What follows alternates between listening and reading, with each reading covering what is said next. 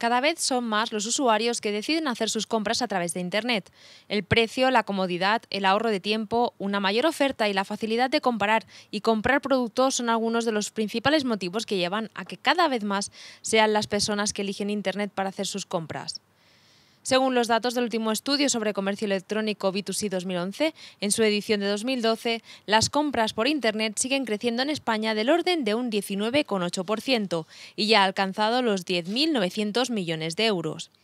Y es que, aunque el precio medio de los pedidos se mantiene, son cada vez más los que ven las ventajas de comprar en Internet. Una modalidad del comercio como la del comercio electrónico, en la que asistimos por segundo año consecutivo, el año anterior fue un crecimiento de un 17% y este año un crecimiento de un 20% de la cifra que los españoles dedicamos a comprar por esta vía, no deja de ser reveladora y viene a demostrarnos sobre la potencia de crecimiento de este sector. La compra de billetes y de reservas de alojamiento son los productos que lideran el negocio online, aunque también las entradas de espectáculos, la ropa o la alimentación son cada vez más buscados para su adquisición en Internet. Está identificado desde hace ya varias ediciones del estudio eh, que los españoles nos decantamos a comprar por esta vía mayormente eh, billetes eh, de, tren, billetes de avión, reservas hoteleras, son, estos son los principales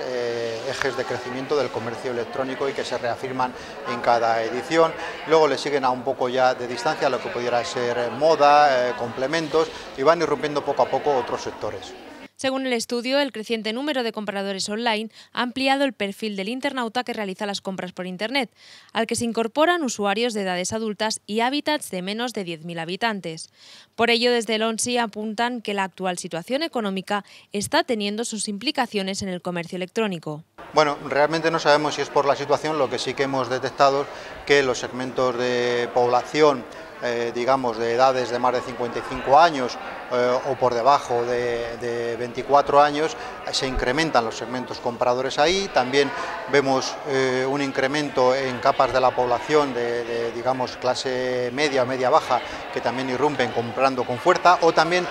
personas ubicadas en núcleos de población de menos de 10.000 habitantes, donde hasta ahora era prácticamente testimonial y empezamos a detectar ahí crecimientos en estos segmentos y ubicaciones de la población.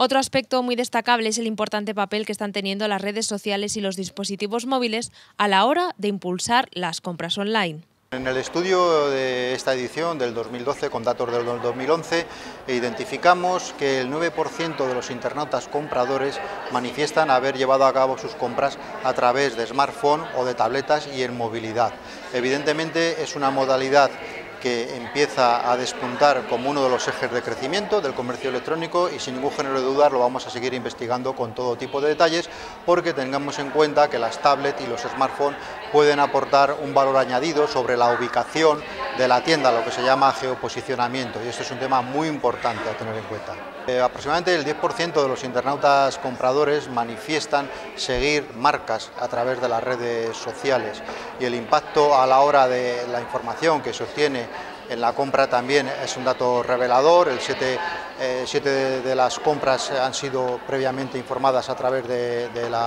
redes sociales e incluso las compras fuera de la red también eh, nos manifiestan, nos confiesan los internautas compradores que en aproximadamente el mismo número de veces se han informado a través del producto que piensan comprar fuera de la red. No obstante, el comercio electrónico en nuestro país aún tiene muchos obstáculos que sortear y son muchas las voces que piden una nueva legislación que regule mejor los medios de pago, los temas logísticos y una ley de protección de datos similar a la de otros países europeos. Para ello, Gobierno y entidades trabajan conjuntamente para seguir impulsando este sector. Bueno, efectivamente los frenos están identificados y mayormente se pueden resumir porque el potencial internauta comprador desconfía desconfía de, facilitar sus datos personales, desconfía de dar sus datos bancarios y esta desconfianza le hace que en muchos de los casos no llegue a introducirse en el segmento de internauta comprador. Desde, en concreto desde Red.es eh, somos eh, digamos, socio y compañero de viaje de A Digital, que es un sello de confianza. Los sellos de confianza sin duda son uno de los eh, marchamos que vienen a ofrecer garantías en las transacciones y ahí desde luego se está trabajando, estamos trabajando con Adigital y desde Red.es estamos abiertos a trabajar con más entidades todo lo que suponga el incremento del comercio electrónico. Ante la positiva evolución del comercio electrónico en España durante el último año, todo apunta a que las perspectivas serán de crecimiento en los próximos años, ya que son muchas las empresas que ya comienzan a verlo como una auténtica alternativa de expansión y supervivencia en tiempos de crisis.